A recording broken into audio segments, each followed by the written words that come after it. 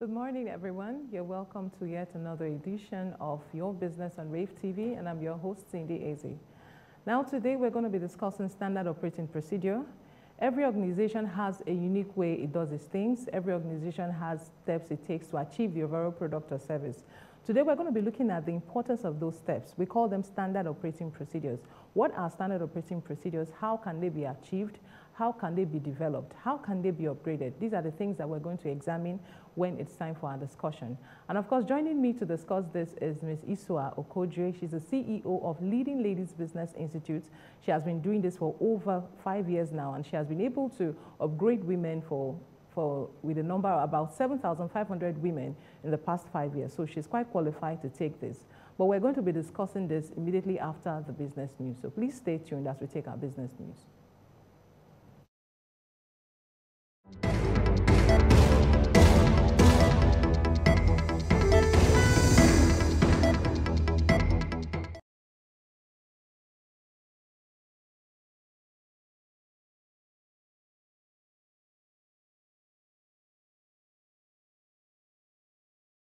Welcome back. It's time for business news on your business. On the local scene, Nigerians stock with cash transactions despite growing digital options. Cash continues to enjoy 80% patronage of all transactions in Nigeria, despite the fact that Nigeria has one of the most diverse digital banking channels in sub-Saharan Africa. Banks have also invested heavily to upgrade their digital banking infrastructure in recent years. These investments, notwithstanding the number of active ATMs, POS, and mobile wallets, are still not enough to cater for the growing bank population in Nigeria. Secondly, system failures and the unending number of failed transactions contribute to customers going back to bank branches. And next, NLNG targets 2022 to begin remarketing trains 4 to 6 outputs the Nigerian Liquefied Natural Gas PLC will begin remarketing of the second tranche of its LNG trains 4, 5, and 6 from 2022 as one of the consequences of the outbreak of the coronavirus pandemic, which has slowed down the industry and most economies. The company's facility located in Bonny Island has six trains, with the first tranche being trains 1, 2, and 3. It recently won a final investment decision for its seventh train. Tony Attah, the company's managing director, said the company was counting on the pandemic running its full course before it began marketing its second set of trains. GB Foods completes 20 billion naira tomato processing factory in Kebbi. GB Foods, a global leader in culinary products manufacturing, in partnership with the Central Bank, Kebbi State Government, and the Emirates of Yauri, has commissioned its 20 billion naira tomato processing factory in Kebbi State. The tomato factory will convert fresh tomatoes in tomato concentrate used for, produ for producing Gino tomato paste and Gino tomato pepper onion paste, while the soya bean will be used to process soya bean oil, which is a critical ingredient for GB Foods and Jago Mayonnaise International. British Petroleum to write off up to $17.5 billion after producing oil price forecast. British Petroleum revises assumption for benchmark Brent crude oil prices to an average of about $55 per barrel between 2021 and 2020. It will also assume the price of Henry Hub gas at $2.90 per minimum British thermal. In a statement, BP said the aftermath of the COVID-19 pandemic will accelerate the pace of transition to a low-carbon economy. And lastly, three airlines challenge UK quarantine in court. British Airways, EasyJet, and Ryanair said the quarantine will have a devastating effect on tourism and the wider economy. The airlines want the government to readopt its previous policy where quarantine was limited to passengers from high-risk countries. They described the country's plan to quarantine most incoming travelers as flawed. The quarantine was imposed heated debate on whether it will help British efforts to stamp down the outbreak or simply stamp out any holes that the tourism industry will recover following months of lockdown. This is the business news. Please stay tuned for stock market report.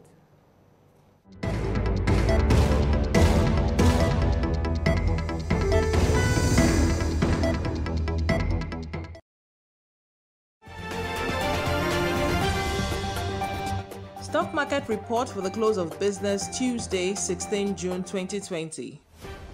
A total of 200.39 million shares were traded on the floor of the Nigerian Stock Exchange in 4,194 deals with a total valuation of 1.59 billion naira. The all share index went down by 0.09% to close at 24,930.88. Equity capitalization stood at 13.01 trillion naira. For the sectorial indices, the oil and gas by 0.57%, the banking index went down by 0.11%, the industrial index went up by 1.03%, the consumer goods index went down by 0.24%, and the insurance index went down by 2.09%. The top gainers include BUA Cement, it gained 0.65 naira to close at 41.4 naira. Fidson gained 0.33 naira to close at 3.63 naira. Sky Aviation gained 0.22 naira to close at 2.95 naira. Red Starex gained 0.17 naira to close at 3.8 naira. And Caverton gained 0.15 naira to close at 2.19 naira. The top losers include Flour Mill, it lost 1.4 naira to close at 19.55 naira. MTN lost 1 naira to close at 115 naira. Ardova lost 0.6 close at 13.75 naira. CI Leasing lost 0.45 naira to close at 4.35 naira. Neimeth lost 0.23 naira to close at 2.0 naira. For the consumer goods sector, the gainers include Honeywell Flour, they gained 0.07 naira, and Inter Brewery gained 0.05 naira. The top losers are Flour Mill, it lost 1.4 naira, and Guinness lost 0.05 naira. For the different sectors, but for the financial services, the three top gainers include UBA, it gained 0.05 naira, WAPIC gained 0.01 naira, FCMB also gained 0.01 naira. The top losers are AIICO Insurance, they lost 0.1 naira, FBN lost 0.1 naira, Zenith Bank lost 0.1 naira. For the health sector, the only gainer was Fidson Pharmaceuticals and it gained 0.33 naira. The losers are Neimeth, it lost 0.23 naira. May and Baker also lost 0.21 naira. For the oil and gas sector, the only gainer was Japaul Oil with a gain of 0 naira. And the two losers are Ardova, it lost 0.65 naira. Oando also lost 0.07 naira. On the international scene, for the American index, the Dow Jones went up by 1.57%, Nasdaq Composite Index went up by 1.42%, the S&P 500 index went up by 1.67%. For the European market, the FTSE 100 index went up by 2.94%, DAX index went up by 3.39%, and the CAC 40 index went up by 2.84%. Market Shanghai index went up by 1.13%, and the Nikkei index went up by 4.88%. That's all for the stock exchange report for today.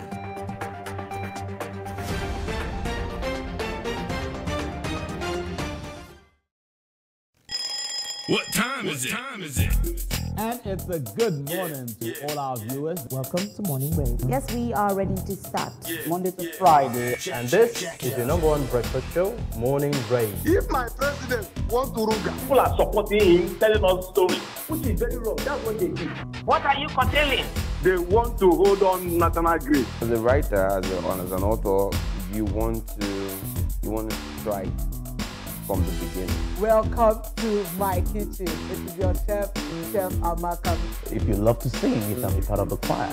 Glad to have you guys join us back this morning on Sport Update on Morning Rave. Nigeria today, it seems that we might be having a break in the atmosphere. The some of them it was never when they were sitting. Oladapo, Adedapo, get, get, This is Morning Rave.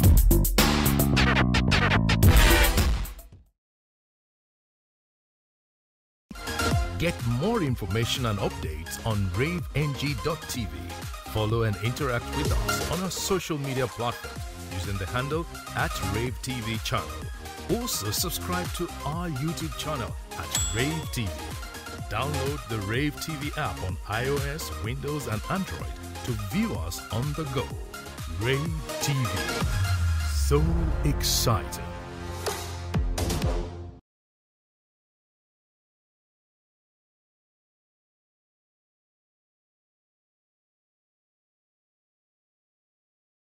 Human beings are political by nature. Everything we say or do has political coloration. On political lens, we bring experts to analyze current issues. This is a serious issue and laws must be obeyed. The primary element is the welfare and the security of the people. Sometimes it gets controversial. And sometimes it is conversational. You cannot come here and embarrass the Exodus. Political lens.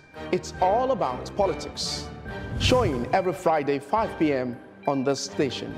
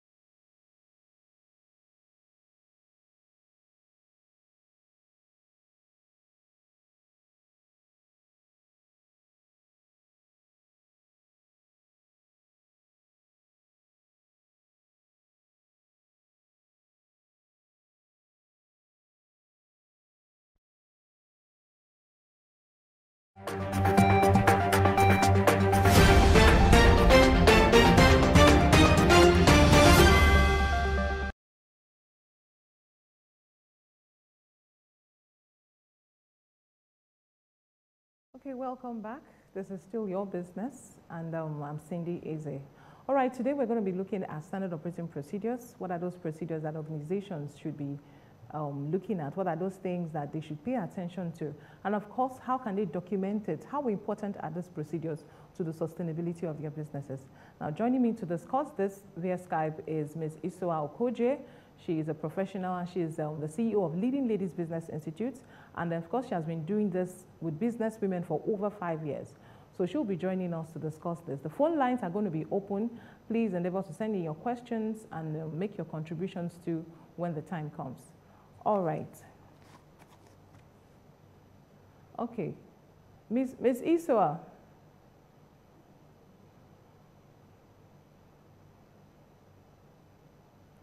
Okay, let's take a quick break and then when we'll come back, Ms. Isoa will be joining us.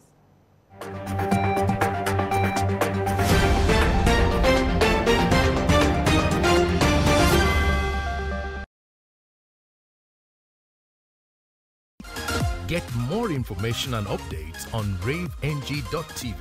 Follow and interact with us on our social media platforms using the handle at Rave TV channel. Also subscribe to our YouTube channel at Rave TV.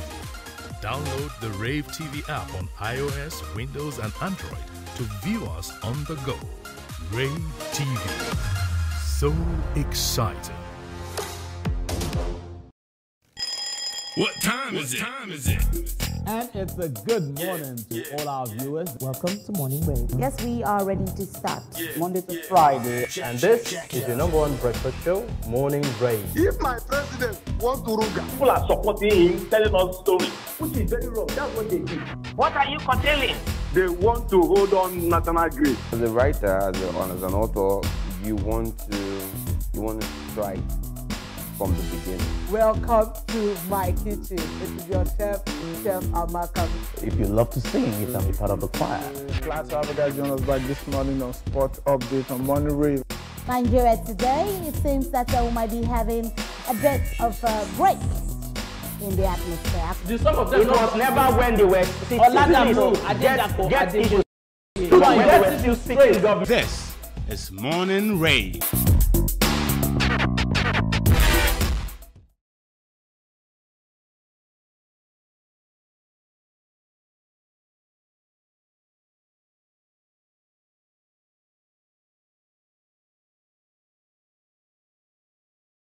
You can see as there.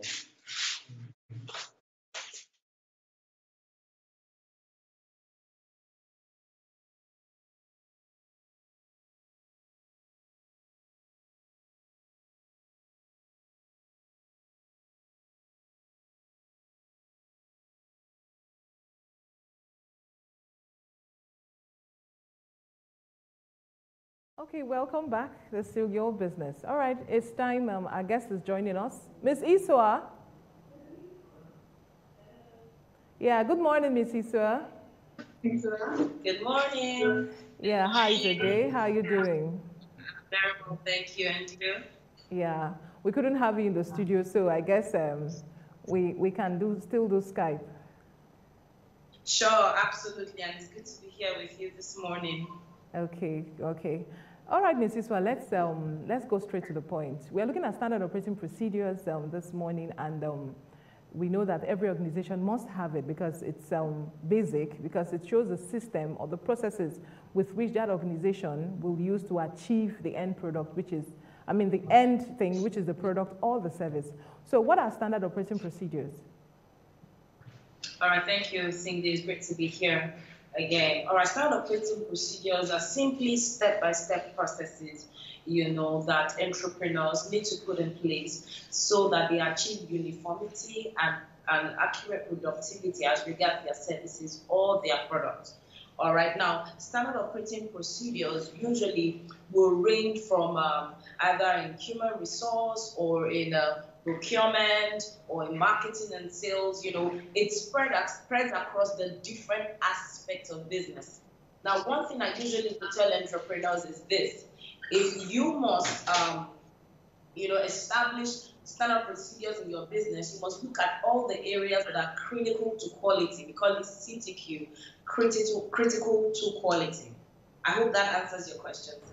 Okay, so for standard operating procedures now, do I need to, as an employer of labor, do I need to train my employees on those processes that I need? Don't I need to like preserve some of those steps?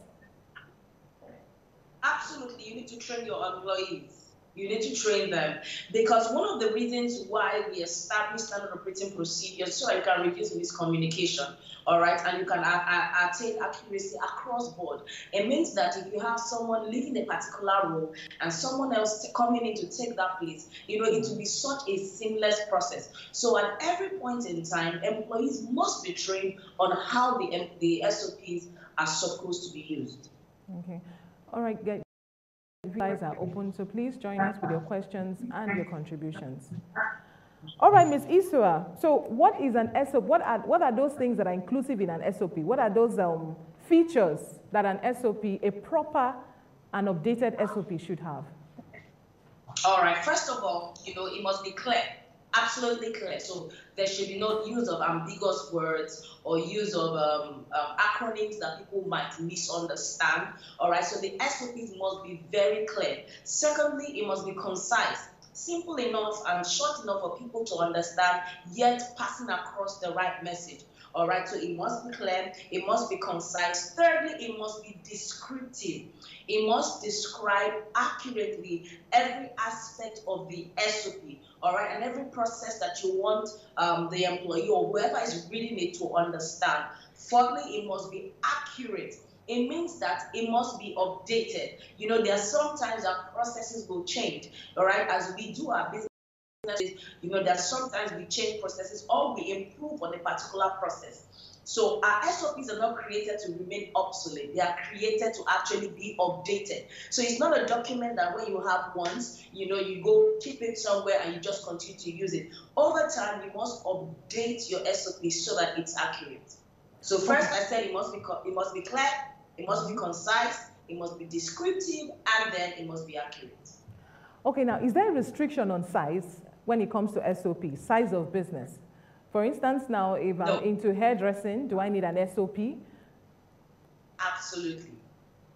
Every kind of business needs a standard operating procedure all right, and needs to have these things documented. All right, now, you know, the reason why many businesses, you know, fail that five year mark, all right, and do not transit beyond that is because many businesses are not properly structured. SOP is just one structural aspect of businesses. Mm. Every must be structured effectively for it to, you know, um, leave out, uh, leave the owner, all right, for it to become a legacy. And SOP, standard operating procedures, is just one of those many structures that a business must have. So whatever it is that you do, whether you're in the entertainment industry, you are in food, you are in clothing and textile, you know, whatever it is in consulting, you're in education, every business must have standard operating procedures. All right, now, for instance, now, because I want to really understand um, all this. Now, for instance, I'm into cake making. What could be my SOP? Right. You know, I need to know those things that I need to document as a cake maker. Oh. All right. Now, in cake making, there are certain procedures, all right? And um, one of them is kneading. So there is the kneading process. I mean, from sieving the flour to putting your dry ingredients to putting your wet ingredients, the step-by-step process, what, how, uh, how the cake will be made must be documented. All right, now some people will say, Oh, wouldn't I give up my secret recipe? No, you don't have to. So you can call your secret recipe anything.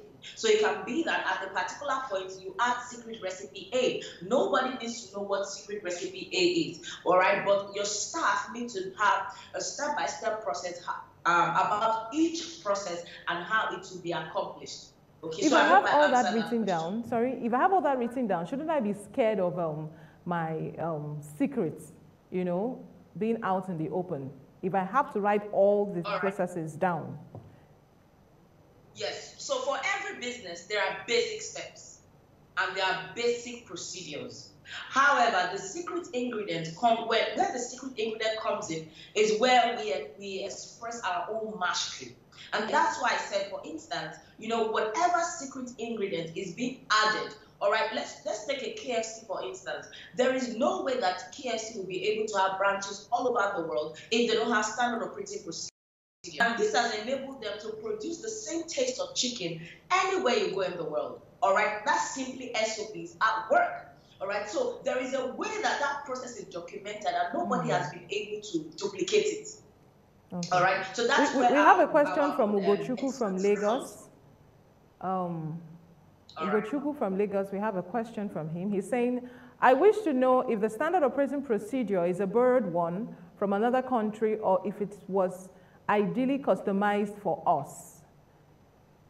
All right, standard operating procedures cut across everywhere in the world, and it's just one of the ways businesses are structured. All right, it's not about Nigeria or a particular country. It's just the way businesses ought to be structured. Okay, okay. All right.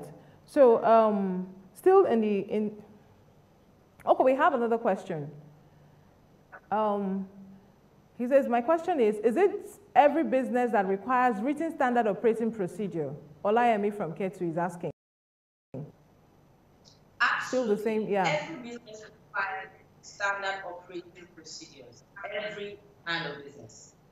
Standard operating procedures are not just limited to big businesses All right, small businesses also ought to have standard operating procedures. And I like to give the example of a little baby girl. When a baby girl is born, she has the ability to reproduce. However, those reproductive organs are not in full, you know, are not are not are not working fully yet because she has not attained the age of maturity. It's the same way when a business is set up, every aspect or structure for that business must be set up as well, even though they are not functioning fully. But there comes a time in that business when you actually begin to function fully. However, if you wait for when you know you're going to have the business big enough to accommodate structure and all that, it means that there are many things you will not be doing right from the beginning. All right, now, can I compare an SOP from a business that is operating as mine, that is like mine? Can I compare SOPs? Or, for instance, if I'm in the same business, you know, on business. So if I'm in same cake making business with my neighbor, must I have a the same standard operating procedure as she? Okay, so you're in, you're in a cake, in the, um, business, you're in the cake yes. making industry, all right, you're a baker. Yes, your, your procedures will be similar. Your procedures will be similar because you're in the same industry. All right. So it would differ maybe here and there, but your procedures would be similar. I didn't I didn't get to talk about the general components of SOPs. So for instance, there are general components of SOPs that will cut across all businesses. All right. However, specific organizations have uh, specific industries would have, you know, some parts of their business structure that might not apply to another. So, for instance, general aspects of SOPs will include finance and accounting, mm-hmm. will include sales and marketing, will include customer service, will include procurement, will include production. All these aspects of business cut across almost all businesses that I mentioned already. So, it's important that you know businesses are structured according to what is critical to quality. Remember, I mentioned CTQ. Every aspect of your business that is critical to quality must have SOPs drafted for it. All right. So an SOP is very important and all that. And then we must always have um, something that, I mean, we must always put it down. Now, can it be stereotyped? For instance, right. you talk um, about how upgrading. How do I know when to upgrade an SOP? As soon as your processes change, you must upgrade it. So when as do, soon as your processes change. Okay, so each time I upgrade, I make sure that I communicate same to my employees. Absolutely, yes. It's very important mm-hmm. so that you can maintain standard. Yes, right. and miscommunication as well. Okay, so you have dealt with businesses over the years. What has been the response when it comes to SOP? How how important have they, you know, um, putting SOPs in their businesses so far? All right. All right. Usually, you know, in communicating with entrepreneurs, uh, many people do not see the immediate need for SOPs. And I always get the question, well, I'm just starting business, you have to have SOPs and all that. But by the time I begin to explain the importance of SOPs, they embrace it and they say, oh, I, now I understand why I've been having a lot of stress with my employees because I keep saying the same things over and over and over and over again, and they do not seem to understand. Mm. So, but at what point do we begin to write down these processes? Is it before we begin to execute them, or even or in the process of executing them? So, at what point can we write it down for the, for the SOPs to be effective? All right. So I would say that the moment an entrepreneur begins to think about starting a business, they should start a documented process for standard operating procedures. So include all the aspects of business, which um, is accounting, marketing, production, and for those that are going into in, that have products and all that. So, yes, in the case where I don't, I am not, um, um, I am not literate enough to know how to document these things. Can I involve a third person or a second person? Yes, you can. Yes, you can. A third party can help you. Yes, you can. So in doing that, I will. You can get as in writing your SOPs. Okay, so in doing that, I can still preserve the uniqueness of my business because that is the most important thing that I'm trying to do to conserve that thing which is peculiar and which is special about my business. Yes, yes. So it doesn't mean that if you bring a third party in to help you draft an SOP, you lose the essence of your business. No. All right. And that's why I said it depends on um, the professionalism of the people running the business or the entrepreneur running the business. Okay. So a secret recipe to you or a secret procedure or process or something, then you must have a way of considering that even in drafting your SOP. Well, thank you so much, Ms. Iswa, for coming on the program today. That was quite informative. Thank you so much. And thanks to all those who asked questions and contributed. Thank you so much. All right, we're going to take a quick break. When we'll come back, it will be time for our sign out. Please stay tuned.